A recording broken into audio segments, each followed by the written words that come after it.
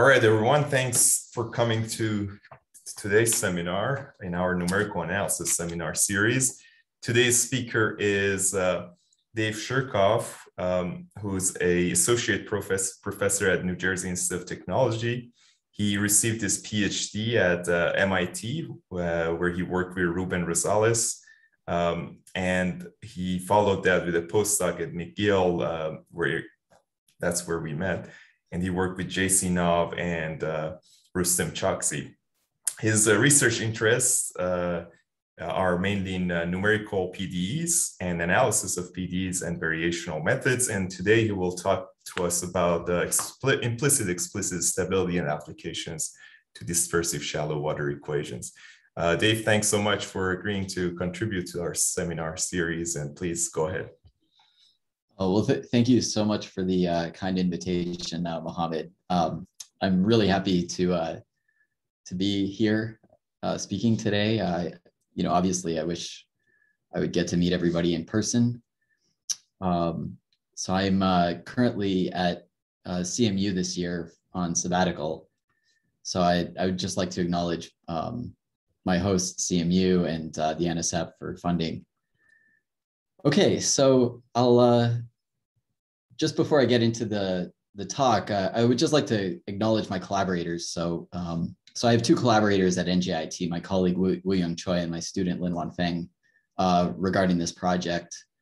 And uh, parts of this project uh, head up my other collaborators, Dong Zhou, who is now at uh, Cal State uh, LA, Benny Seibold, who's at Temple, and then my PhD advisor, Ruben, who's at MIT and we're, we're located uh, just about 20 to 30 minutes outside of New York in Newark, uh, New Jersey. So that's where NJIT is. So we're, we're fairly centrally located on the uh, Northeast. Okay, so today I'm going to talk about some stability theory uh, that we've been working on, and then I'll get into some applications and uh, finish up with the dispersive shallow water equations, which are some recent uh, problems that we've been thinking about. So so I'll start off with, uh, I like starting off with the simplest uh, possible situation, which is if I just give you an ODE, uh, which is a linear ODE. Uh, so this, this is uh, a matrix L here that's n by n. And I just ask, okay, how, let's time advance this. Uh, so time step it, time integrate it. how, how might we do it?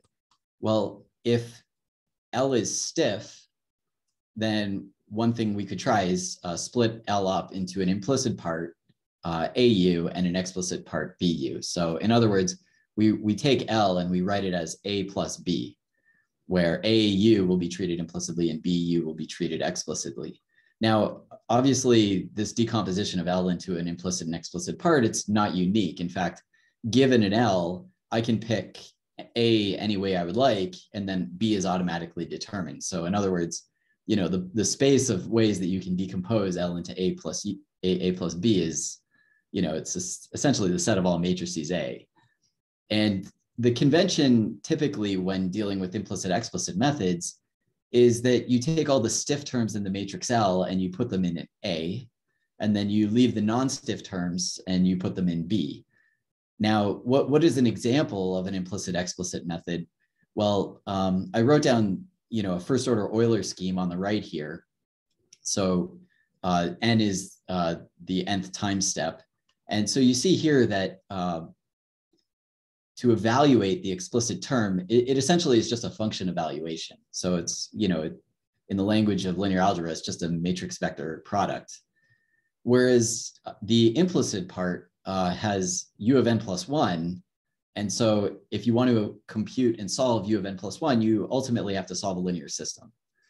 And so the advantage of treating some terms implicitly is that implicit treatments give you stability typically, um, but they're more expensive usually because you have a linear solve or a nonlinear solve in some cases.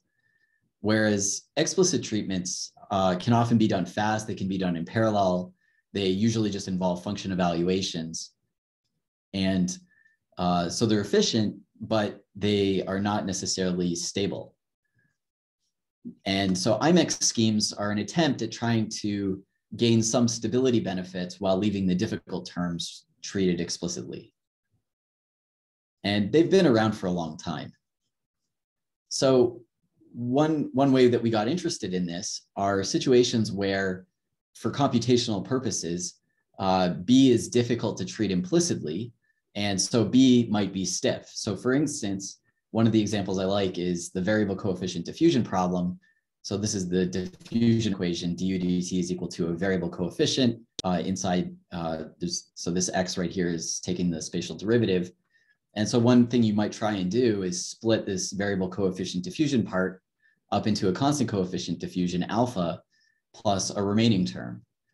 And so the alpha uxx, uh, that's constant coefficient. And so that's something you might want to try and treat implicitly. The variable co coefficient diffusion is now d of x minus alpha, and you may want to treat this explicitly. Now, what's the problem? Well, the problem is that this uh, variable coefficient diffusion term that's being treated explicitly, it has two derivatives. And so it itself is stiff. And so now you're treating a stiff term explicitly. And so you're hoping that you won't incur a small time step restriction due to treating a term that has two derivatives explicitly. And so what has to happen? Well, you have to make sure that the implicit term here gives you enough stability so that it stabilizes the unstable uh, dynamics uh, that, that occur from the explicit treatment of this variable coefficient diffusion problem. The advantage is that you're treating constant coefficient diffusion implicitly. So if, if for instance, the diffusion coefficient was depending on space and time, or maybe even worse, was nonlinear, nonlinearly dependent, like we'll see later, you know, you don't want to have to, you know, build up an implicit linear solver at every time step. You know, maybe you want to try and cook up one linear solver that's completely optimized to handle, you know, one constant coefficient operator and then you know ride that through every time step. Now it, it was observed uh, quite early. This goes back to the 70s that if you pick alpha large enough, you can always make Euler methods, so first order time stepping schemes of this form stable. And since that uh, time, um, there's been numerous observations, uh, many papers that have observed this uh, for a variety of different PDEs uh, for both first and second order methods. Now, one of the reasons we got interested in looking at time stepping by itself, uh, this goes back to uh, reformulations of the Navier-Stokes equations. So the Navier-Stokes equations uh, look, look like this. And it turns out that you can reformulate the Nav Navier-Stokes equations into an alternative uh, form, uh, sometimes called the pressure Poisson equation. Sometimes these are called extended uh, PDEs. Uh, so this is a, an evolution equation for the momentum, and then you have a Poisson equation for the pressure. Uh, what's not trivial about this system right here are how you handle the boundary conditions. But once the PDE is in this form, uh, time stepping this form of the Navier-Stokes equation, essentially once you discretize in space, amounts to solving an index one differential algebraic equation, as opposed to an index two differential algebraic equation. So that's one of the advantages. And this form right here is, you know, very amenable to um, semi-implicit or IMEX time stepping schemes. And so what you might want to do is treat the Laplacian term implicitly and treat the pressure term and the nonlinear terms explicitly. And so for certain ranges of the Reynolds numbers, this can be an attractive uh, approach to time stepping the Navier-Stokes equations. And so uh, what we observed when um, applying time stepping schemes of this form to this, to this PDE was that for multi-step schemes, like Euler methods, they were always stable and second order methods were always stable. And then third order methods were sometimes stable um, sometimes you'd lose stability when you changed, for instance, the domain geometry uh, or the parameters in the problem. Uh, fourth order schemes are never stable. And so it was sort of odd that, you know, third order schemes are sometimes stable and sometimes not stable. Now, this is reminiscent of what, what's known as the Dahlquist barrier, that, you know, there's a fundamental change in stability when you go from second order to third order multi-step methods. Uh, but this system right here is a little bit different because we're treating some terms implicitly and some terms explicitly. And so it's a little bit of a puzzle, you know, what's going on. And so that led us to sort of abstractize the problem a little bit and then just look at the, the you know, the, the simplified structure of the problem to see what, what was happening. So the, the first half of the talk, I'll focus on IMEX schemes that have the following form. So du dt is equal to AU plus BU. We're going to look at AU implicitly and BU explicitly. We're going to restrict ourselves to just the case where A and B are matrices. So for instance, this could be a method of lines discretization of a PDE. So I'm thinking of discretizing space first. And then now we've got a system of ODEs in time that are coupled together. I want to leave the situation where B and A are both potentially stiff. So I'm not going to think of B necessarily as being non-stiff. And for simplicity, I'm going to assume that A is symmetric, negative definite. So it's kind of like the Laplacian. So the prior examples fit into this framework that I'm talking about. Now this symmetric negative definite constraint can be relaxed a little bit, um, but it'll just make the calculation cleaner. And what I'd like to do is try and discuss uh, sufficient conditions for um, unconditional stability. So this is going to be stability independent of how large one takes the time step. So it's a fairly strong condition. Um, similarly, we'll also look at necessary conditions, and it's going to turn out that the sufficient, there's going to be a little bit of a gap. So we're going to try to come up with a theory that is workable, that can be used by practitioners. And so uh, we're going to relax uh, the situation so that the sufficient and necessary conditions are not completely identical to each other. We'll also look at introducing a new family of time stepping coefficients as a way to help stabilize certain classes of problems. And then later on in the talk, we'll look at some examples. So um, I'll first recap uh, just the standard ODE theory, uh, stability theory that we often teach in upper year uh, undergraduate numerics classes or, or uh, graduate numerics classes. So, so when you look at numerical stability for a linear differential equation, um, the situation can actually be characterized uh, quite nicely and exactly. And so the way that one can do it is that you decouple the stability uh, analysis into two, two pieces. One is you look at the eigenvalues of the matrix A and you define the set of eigenvalues. So that's, that's just the spectrum of the matrix A. So this is a property only of the matrix A. So on the right here, we have a property that depends only on A. Um, then on the left, we look at the scalar ODE. So U is now a scalar, and we have a parameter lambda. And we look at whether the dynamics for the scalar ODE are stable or not. So in other words, we apply the time stepping scheme like Euler's method or backward differentiation equations to the, the scalar ODE. We define uh, the time step k times lambda as a single parameter. And then we define a set in the complex plane so that uh, the ODE, when we apply the time stepping scheme to the ODE, uh, the dynamics are stable. So in other words, the solutions stay bounded or decay to zero. And so this defines a set in the complex plane. And this depends only, the set in the complex plane, uh, mathcal A here, depends only on the time stepping scheme. It's, it does not depend on the problem. It doesn't depend on the matrix A. And then stability uh, is, is characterized as whether when you take the eigenvalues of your matrix A and you multiply them by the time step, do they lie in this geometric entity, this, this object A in the complex plane? And so what's nice about this approach is that uh, it allows you to decouple the problem into something that depends only on A and something that, that depends only on the time stepping scheme. It allows you to design time stepping or integration approaches that work for entire classes of problems. So for instance, if you know that the matrix A that your that your problem is drawn from has a certain generic structure then you can look at time stepping schemes that are stable for that class of problems. And uh, unconditional stability is relatively easy to analyze. So for instance, A must contain a cone. Now, the difficulties of applying this type of approach where you decouple the problem from the time stepping scheme, if you try and apply that same idea, even to this linear problem where A and B are matrices, the problem is, is that A and B gener generally don't commute. And so uh, it's not necessarily true anymore that the problem can be decomposed in this way, at least in a simple way. Um, and so the necessary and sufficient conditions uh, are more difficult.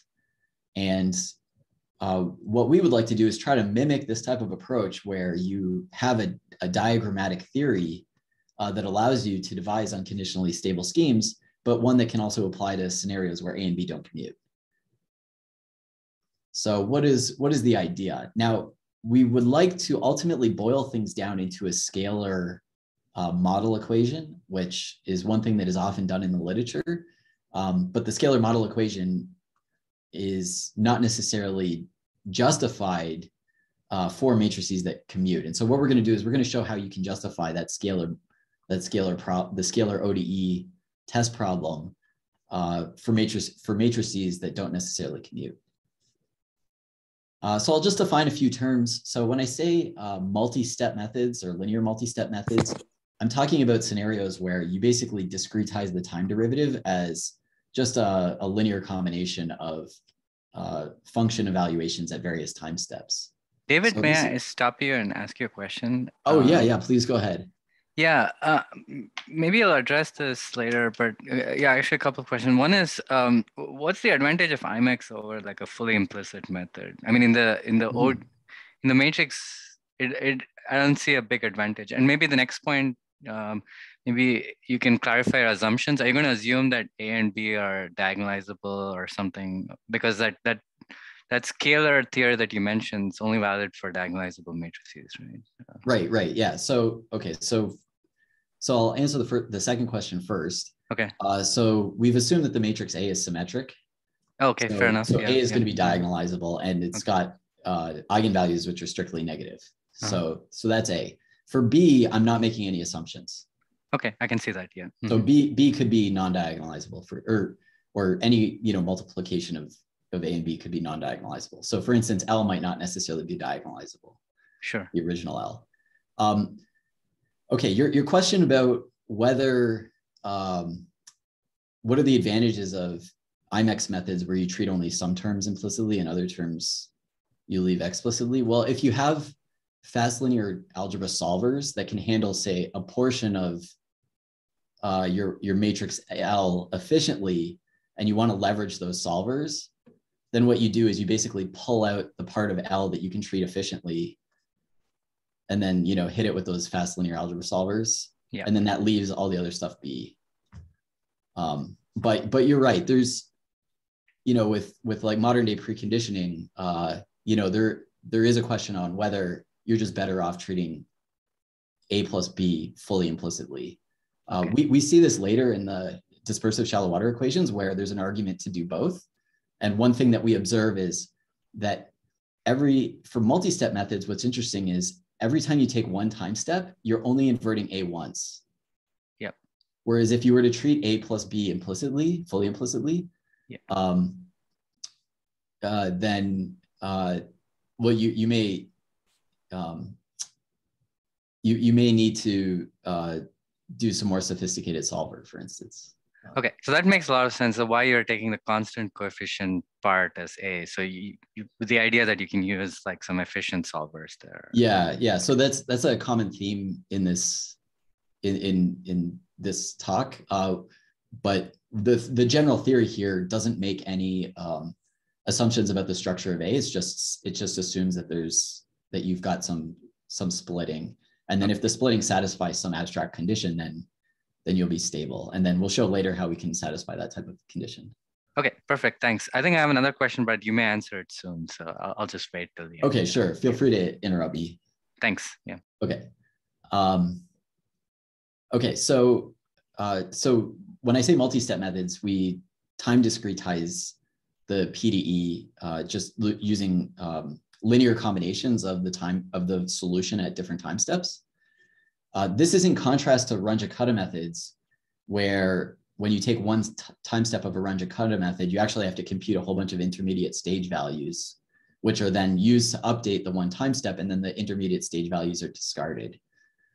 So multi-step methods are very they they are efficient in that you know you every implicit solve or every every time step only requires one implicit solve.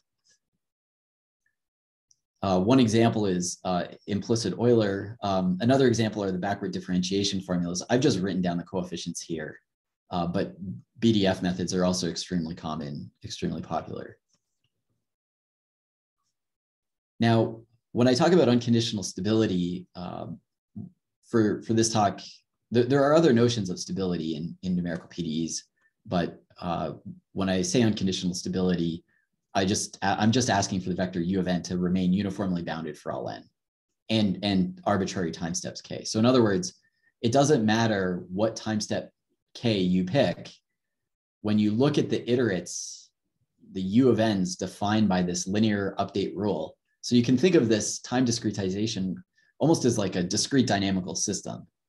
So you know, for each fixed value of k, for each time step k, you can compute this, you know, linear update uh, and look at the sequence of u of n's that are generated. Uh, and then you just ask that those u of n's stay bounded, bounded below some constant. And you want that constant to be independent of the time step k that you pick.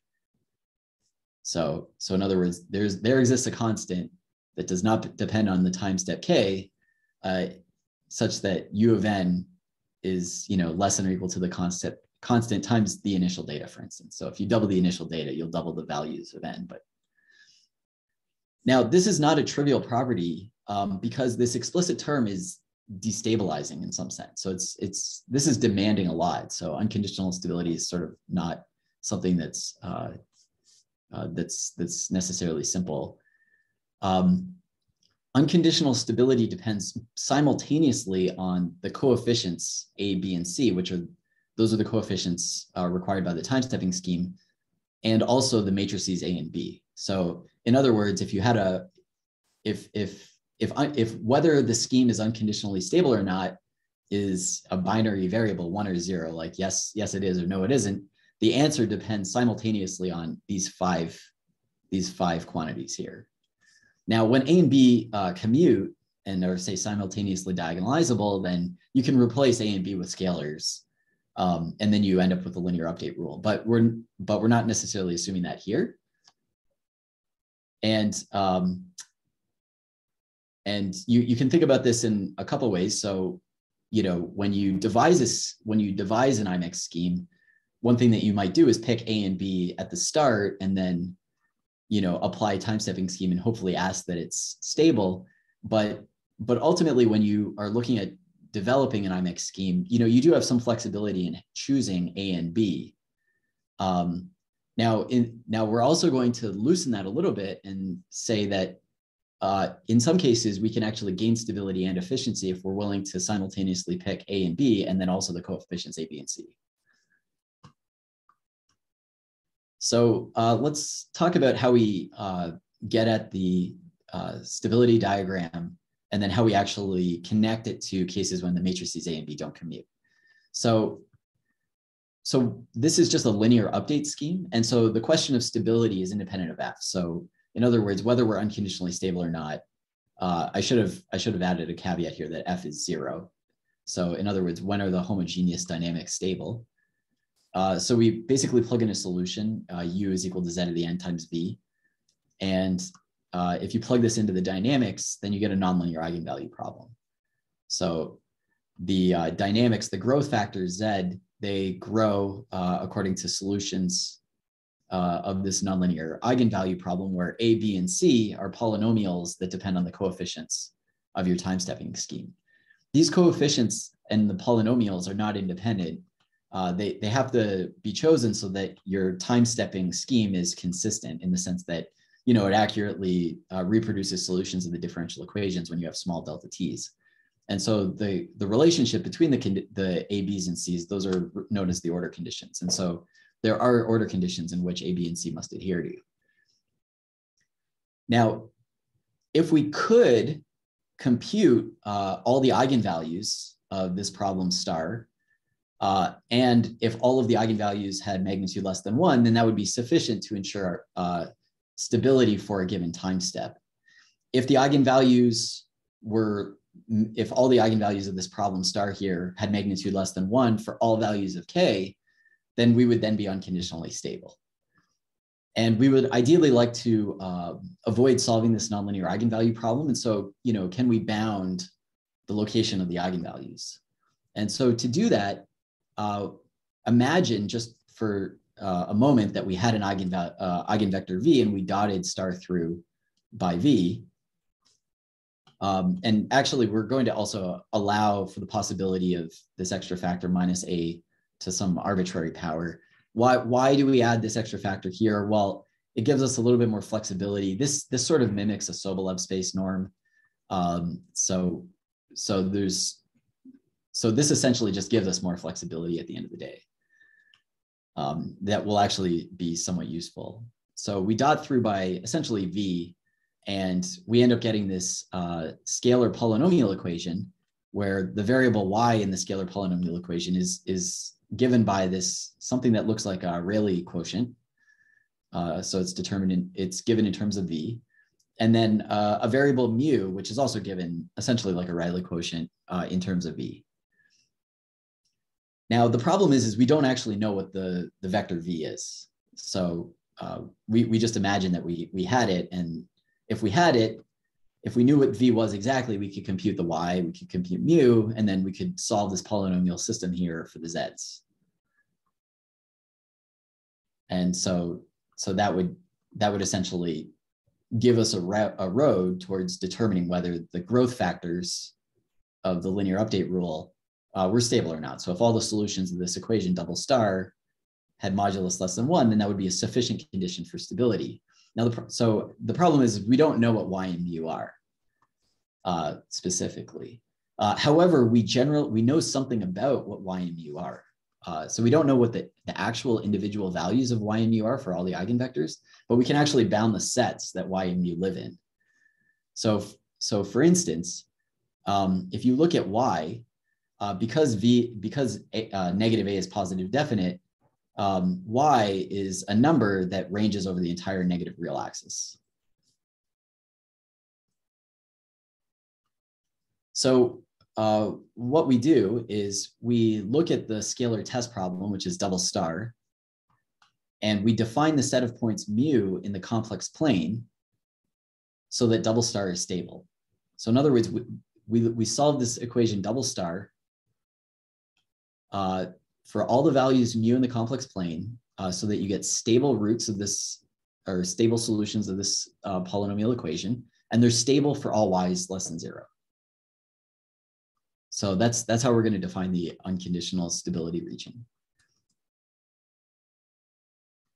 Um, and so what, what we're going to like is we're going to want to try to have the mu's that come from the eigenvectors live in this set. So this set D uh, this set D basically characterizes when solutions of this, this model problem here have stable roots for arbitrary values of y, which are the values uh, when delta t, or sorry, the time step ranges over the negative real axis, or sorry, the positive real axis. Now, it turns out, uh, and this is a theorem that I'll say a little bit more about momentarily, but it turns out that the set D can be completely characterized for certain classes of time stepping schemes. Uh, it char- it's characterized in the worst possible case when y goes to negative infinity. So in other words, this is sort of like looking at the dynamics defined when your time step delta t is infinitely large. And so the, the, the IMEX scheme actually makes sense as a dynamical system or as a, you know, as an, an iterative method uh, when delta t is formally set to infinity and it turns out that when delta t is or k is set formally to infinity, that's actually when you have the most dangerous dynamics.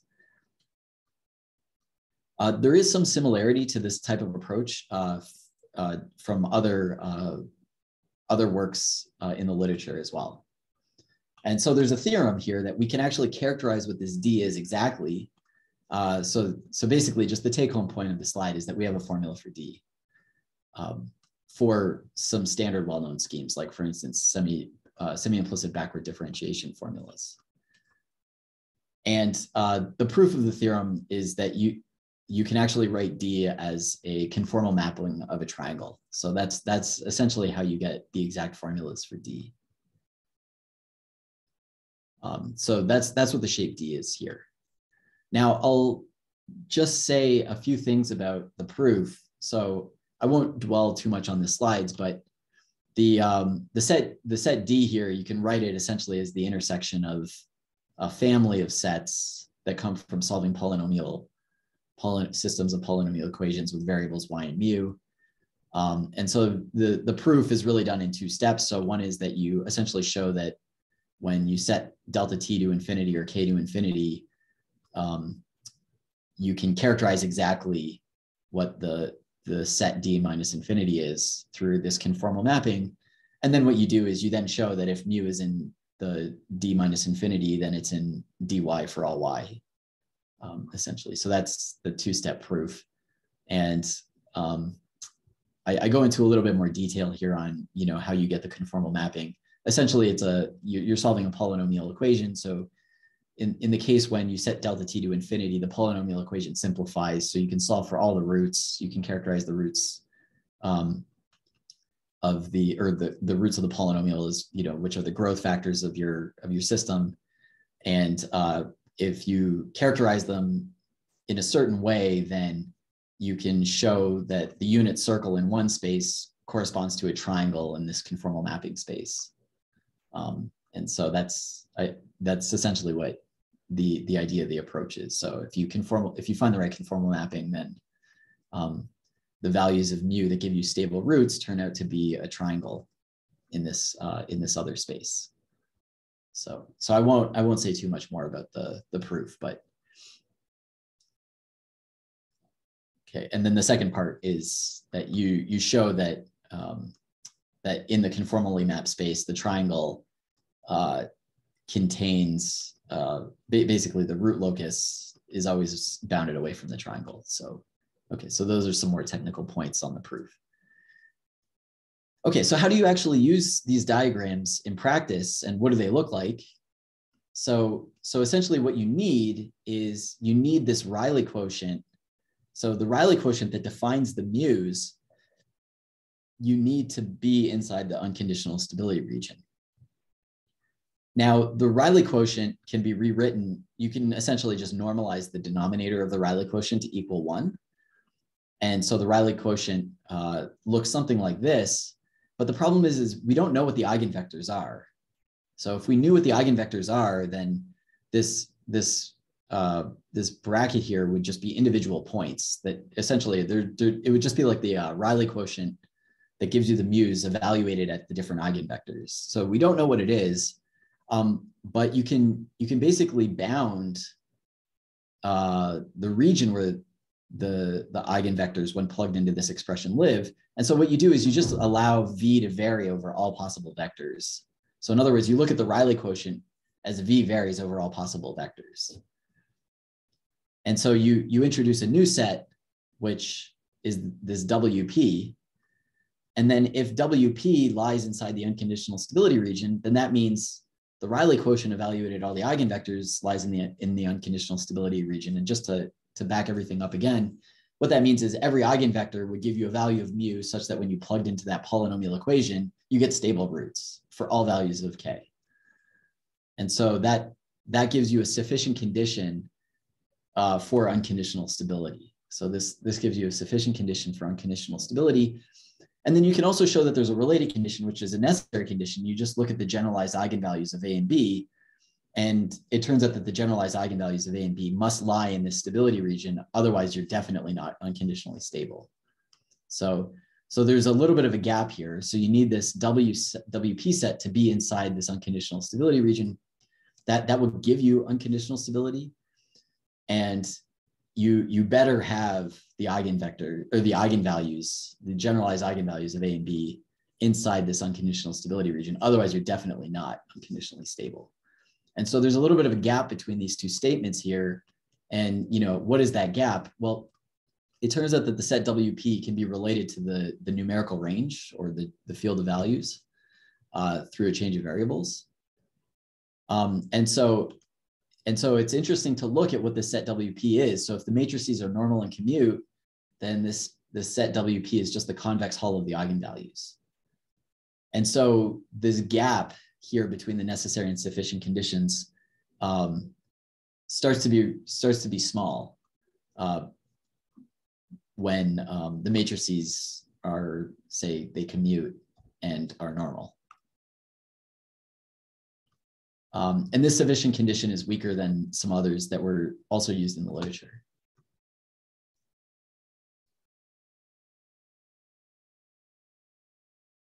Okay, so we now have a condition which we can use to ensure that a scheme is unconditionally stable.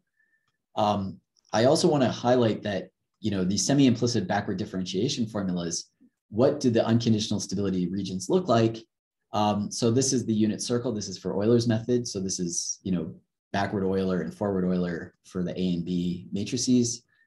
Um, it then has this other teardrop shape for second order. And then for third order, something actually, well, second order and third order, there's some fundamental differences. One is that you end up getting um, a point at the location one, and then third order, uh, the the region is actually strictly bounded away from the point one, and that that's going to become important later. Um, you'll notice that they start to shrink, and so the fact that the the shapes shrink, these are all plotted on the same scale. So the fact that these regions of unconditional stability shrink um, means that um, uh, means that you start to lose stability as you go to higher order, which is uh, a common theme. There's usually a trade-off as you go to higher order, your schemes become less stable. Uh, and now it does turn out that you can actually cook up uh, other IMEX schemes. Uh, the IMEX schemes can be defined through coefficients of the polynomials A, B, and C, uh, and so it turns out that you can cook up schemes. This is a one parameter family of schemes indexed by delta. Uh, you can, if you cook up these schemes, then um, these schemes can actually give you lots of really good stability. So this was something that that we did. Uh, the, key, the schemes are zero stable. Um, for R equals two, there's some similarities with these schemes uh, in a prior paper by uh, from 2003.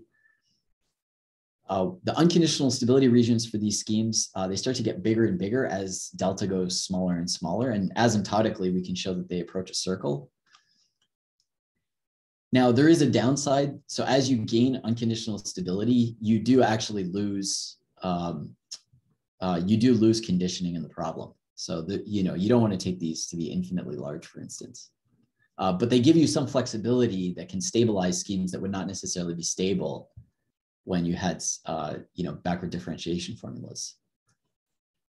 Okay, so let's uh, let's get into some examples. So I, I like to give this as just a really simple idealized example. Uh, so let's suppose you start time stepping this scheme, this this ODE, du dt equals minus 10u. Um, and let's suppose that you want to you want to split it so that minus u is implicitly implicit and minus 9u is explicit. So the implicit part is nine times smaller than the explicit part. And so you wouldn't necessarily think that the scheme could potentially be stable uh, because you know you're you're treating a term explicitly that is in some sense bigger than the term that you're treating implicitly. Um, but okay, so I mean this is actually a case where trivially the the matrices are single point single entries, so you know they commute and everything, and you know you don't really need the full theory, but um, the numerical range is one point minus nine. Um, and so you can actually pick a delta. So you can pick the, you can, you know, tune the time stepping scheme uh, so that the unconditional stability region that you have includes the point minus nine. And so if you pick delta equals to 0 decimal 04 and you plug it into the time stepping schemes, you know, defined by these polynomials, you get a time stepping scheme that will guarantee that this ODE is stable, is unconditionally stable. It's stable with arbitrarily large time steps. Now, it might not necessarily be that accurate for large time steps, but you won't necess- you won't blow up.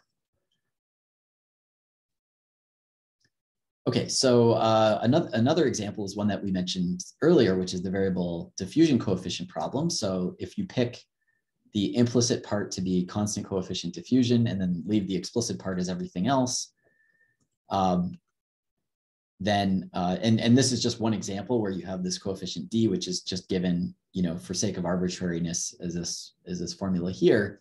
Uh, you can compute the um, the sigma. So in other words, what coefficient should you pick in front of the constant coefficient operator, and what time stepping scheme should you pick so that your scheme is stable? And so it turns out that for first and second order schemes, you can always make you can always make the scheme stable by picking a coefficient in front of uxx alone. But if you want to go to third, fourth, and fifth order, you actually need to pick the time stepping schemes coefficients as well. Um, and so you can do something similar uh, with uh, advection diffusion, which I'll show on the next slide. But just to summarize, uh, in a theorem, uh, it turns out that for for an arbitrary diffusion coefficient, you can always choose the coefficient sigma in front of the uxx term so that you're unconditionally stable. Uh, however, generally speaking, third order uh, SBDF methods will not be unconditionally stable for any sigma. So in other words, you just can't pick a splitting that will give you unconditional stability for third and for third order methods and higher. Um, however, if you're willing to choose both the time stepping scheme coefficients and the splitting sigma, then you can pick both simultaneously in terms of known formulas in the problem to make the to make the scheme stable. And so just to just to highlight this, this is an example where we picked a variable coefficient diffusion problem where third order and beyond is not possible um, without actually doing the simultaneous splitting. And so, you know, essentially everything in this blue box is possible only if you're willing to modify the time stepping scheme coefficients and the splitting at the same time. Um, you can do something similar with variable advection diffusion. Um, due to the structure of the stability region, uh, the barrier does not occur at third order, it actually occurs at second order, and that's because the, um, the explicit term is uh, essentially gives you gives rise to skew symmetric matrices um, due to this UX term. Okay, so um, I'm now going to move to some more realistic applications. So this is actually where the theory, uh, there's start to, there's, there will start to be a mix of statements that we prove rigorously and then statements which we essentially use our current theory um, as a proxy uh, to generate stable time stepping schemes, where some theory is still uh, yet to be developed. Okay, so uh, here's a nonlinear problem. So this is uh, uh, this is a nonlinear uh, diffusion problem where the diffusion coefficient depends nonlinearly on the solution. And so you might want to try and treat, so if, you just treated this fully implicitly, then you, you essentially get a matrix which it depends both on uh, space and time. Um, so one thing that you could do is you could treat the implicit term with constant coefficient, uh, and then the explicit term is everything else. I, I wrote UXX term, and this really should be Laplacian. So th these examples are going to be done in higher dimensions. Um, and you can also pick, if you know something about the initial data or you know have a rough estimate on what the maximum and minimum value of the solution is uh, for this problem, then you can pick uh, you can pick both simultaneously the scheme coefficients uh, and this parameter sigma so that you're unconditionally stable.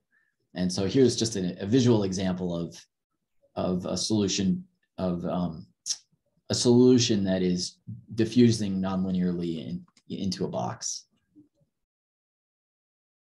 And uh, this is just a comparison of, um, we, we did a comparison just on the computational time, the clock time to compute a solution of the peak. So this is the, the maximum value of the solution, watching it decay.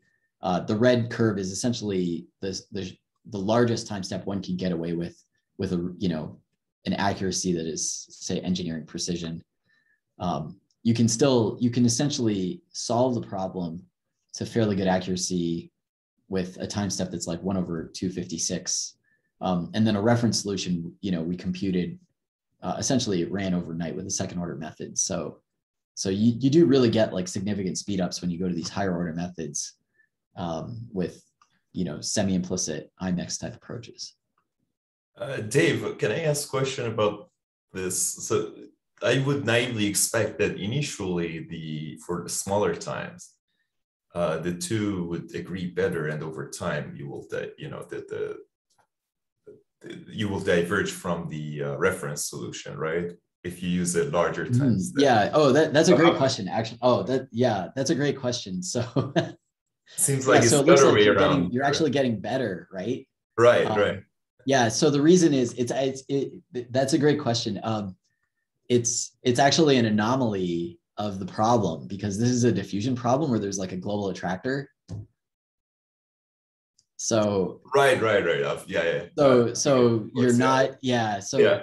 so but it does it does highlight actually a failure of of this test problem as uh, you know something to showcase uh, the errors over long time periods. Yeah, that's that's a great observation, by the way. Right, right, okay. Yeah, th- thanks for pointing that out. Uh, another thing I should point out too is that um, this is just to be honest with these methods that for this problem here, the nonlinear diffusion problem, one of the interesting problems you can have is when you have um, diffusion into a vacuum. So in other words, you have the solution rho being non-zero on some set, and then it diffuses into a set where it's zero.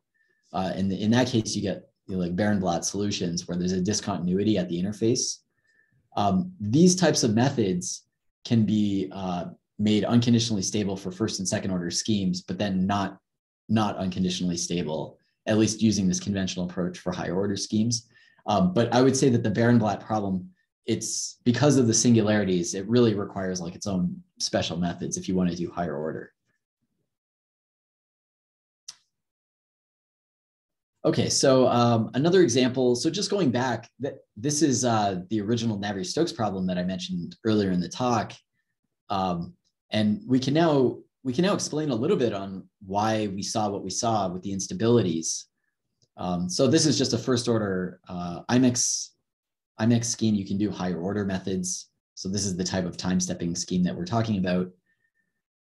Um, now, formally, the problem comes from this interplay of the pressure, which can be thought of as a projection on the Laplacian in a certain way. So, um, so if you just look at the linearized Navier-Stokes, oh, actually up here, the linearized Navier-Stokes right here, um, the instabilities are actually going to come from the interplay of the Stokes operator, uh, where the pressure is treated explicitly and the viscous term is treated implicitly. It's actually not the nonlinear terms that is that are causing the instabilities uh, for this for this type of IMEX splitting.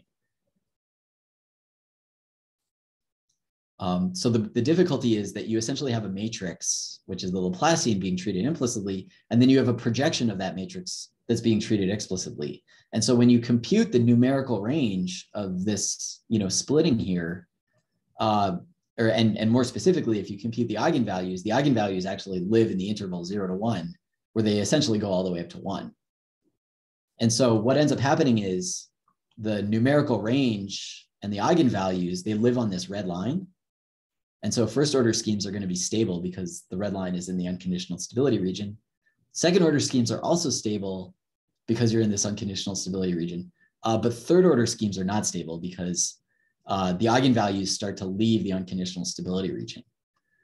And so this, and so it, it, it turns out that for multi-step schemes, uh, there's a, a sort of something similar to a Dahlquist barrier that we can prove that um, says that the third order or the, the unconditional stability regions are bounded strictly away from, from this point one. So, so really, uh, if you want to do splittings of this form, uh, then you know linear multi-step methods seem to have fundamental problems. Uh, so we we did look at uh, Runge-Kutta methods, and we looked at a similar, you know, similar model problem.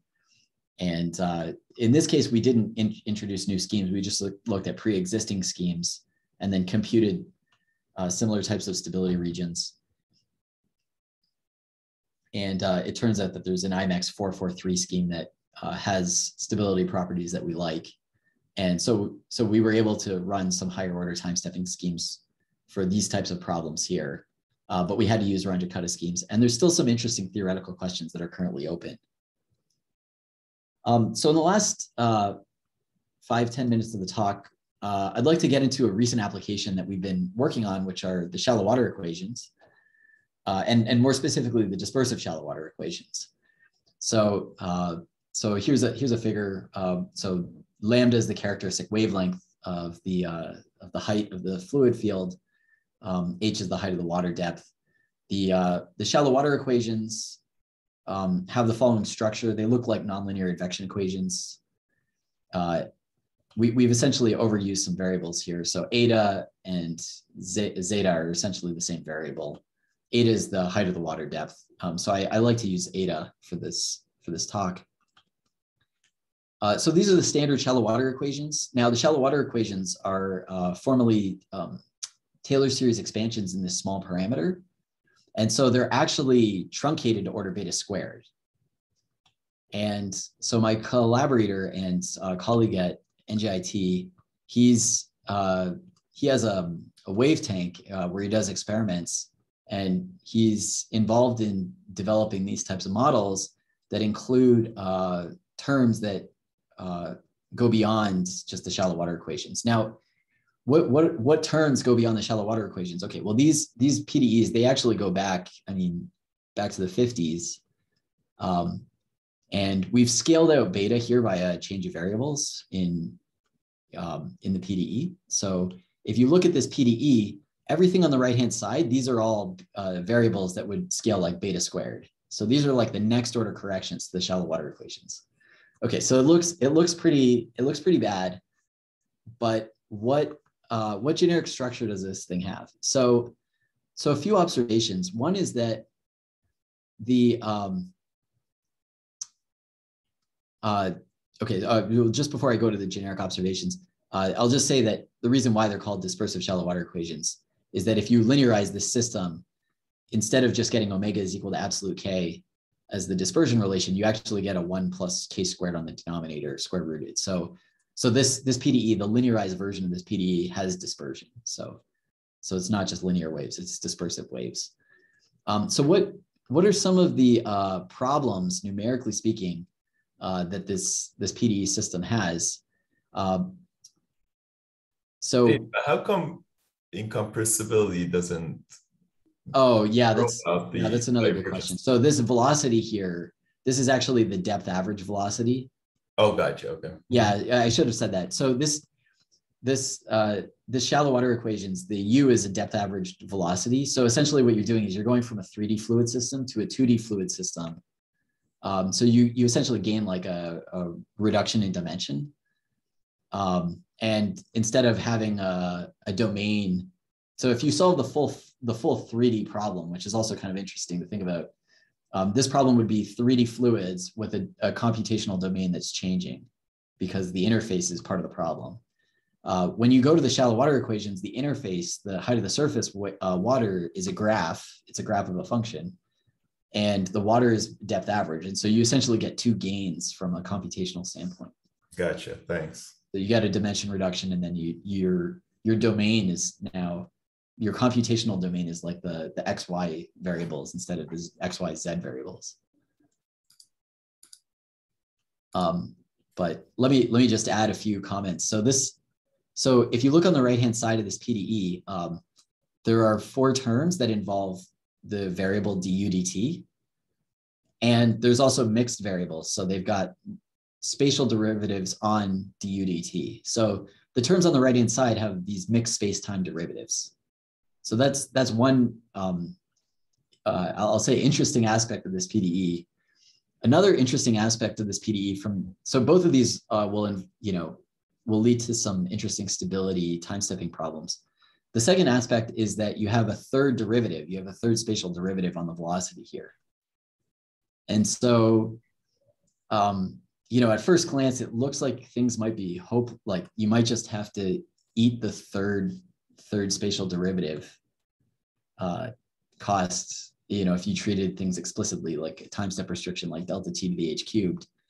Um, so we don't have a full explanation on the, the second difficulty, but we have a we have a pretty concrete understanding of the first difficulty now on some ideas on how to resolve and, and come up with efficient time stepping schemes. So, so you can restructure, you can bring all the time step, the time derivatives du dt on the left-hand side, and you can rewrite the, uh, the PDE in the following form, where this operator G is just hitting the DUDT. So essentially we just bring all the red terms to the left-hand side and we group them all together. We call that G of U. Um, so this operator G, uh, we've decomposed it into two parts. There's um, there's a part that depends uh, purely on H, which is the bottom topography, the bathymetry. So if you have a flat bottom of the ocean, then this K term is identically zero, and you're just left with N. If you have a variable bottom, then you have this H, which is non-zero. So this operator H is non-zero. Now, these operators n and k, they depend on the solution, right? So they depend on eta, which is the height of the surf, the depth of the water. Um, H is variable coefficient, but it doesn't depend on time. Eta depends on both space and time. And we essentially want matrix-free methods that avoid inverting G. Uh, so like we don't want to build G, for instance, and then have to like invert it.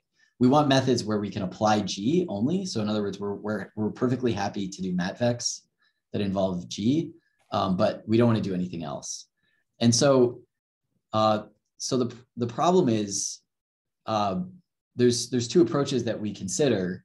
Um, one is essentially just a standard, conceptually standard time stepping approach, like discretize this problem using uh, Runge-Kutta methods, where the key challenge is finding a preconditioner for this this this matrix G, this operator G. So find a find a good preconditioner for this thing that doesn't depend on space and time.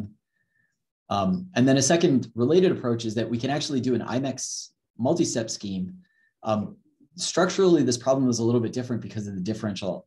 We, we can recast this as a differential algebraic equation. So when you discretize in space, it, it has a structure of a differential algebraic equation. But it turns out these two problems, one and two, um, are essentially related. So finding a good preconditioner and finding good multi-step methods, the IMEX splitting, the implicit part of your IMEX splitting behaves very much like, or has a lot of similarities to a good preconditioner. So the term that you treat implicitly in an IMEX method, uh, there's similarities to what you would pick as a good preconditioner. Um, and the difficulty with the IMEX scheme is, again, zero stability.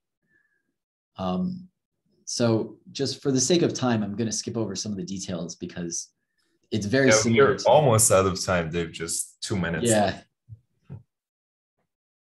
Okay, so we, we end up getting stability regions, which are essentially equivalent to the prior ones. Um, so I think, I think the main message to take on this is that the, um, this operator has a variational structure. So the, this operator G, which is two parts, n plus k, it has a variational structure. Um, its, its variational structure is on is naturally on um, a space, the space H div, and the, the variational structure of this operator G, it's essentially a symmetric positive definite operator G. Both N and K individually are symmetric positive definite. And I, I didn't write this out here uh, for the sake of uh, slides, but um, it turns out that this, this, uh, this variational structure, if you do, if you rewrite it in the right variables, um, you can basically show that this, this uh, this G is positive definite. So you can you can essentially write it like the sum of squares, similar to uh, the way that you write polynomials as sums of squares.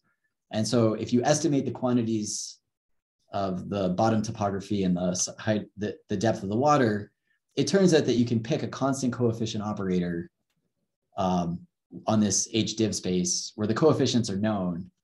Um, and then given this operator, you can bound the, the generalized eigenvalues of A and G. And so that's sort of the moral of the story is that we can find an operator A that's constant coefficient. We have formulas for the coefficients.